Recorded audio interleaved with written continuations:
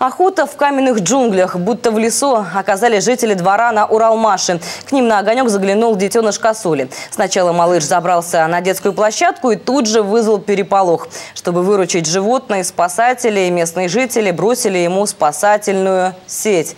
Где сейчас лесной гость, расскажет Дарья Дементьева. Вон у него печенька лежит.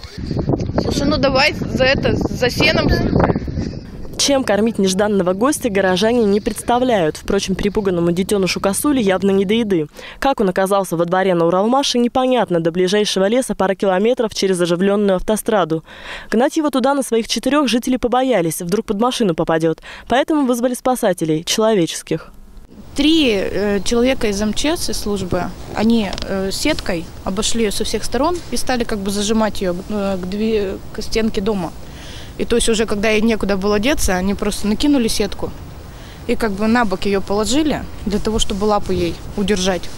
Вот, ну, закричала, заревела, но они аккуратно на руках, как ребеночка практически, в машинку ее переместили. По слухам, в город малыш забрел не один, а с мамой Косулей. Впрочем, ее спасатели не видели. Родительские обязанности исполняли сами. Сперва удержать детеныша было непросто. Он отчаянно брыкался маленькими, но острыми копытцами. Однако потом привык к рукам. Животное было благополучно отловлено.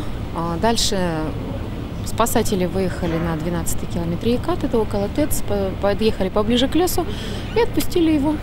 Ну, на моей памяти, вот в прошлом году кабан забегал, в этом году селезни спасали, и вот косуля. Их службу впору расширять, шутят спасатели. Каких только жителей леса не приходилось выручать из каменных джунглей. В город они, как правило, забредают в поисках пищи или из любопытства.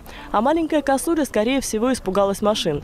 В зверинец ее помещать не стали. Животные абсолютно здоровы и легко найдет сородичей в лесу. Дарья Дементьева, Владимир Середа, Антон Лимонов. Новости 41 канала.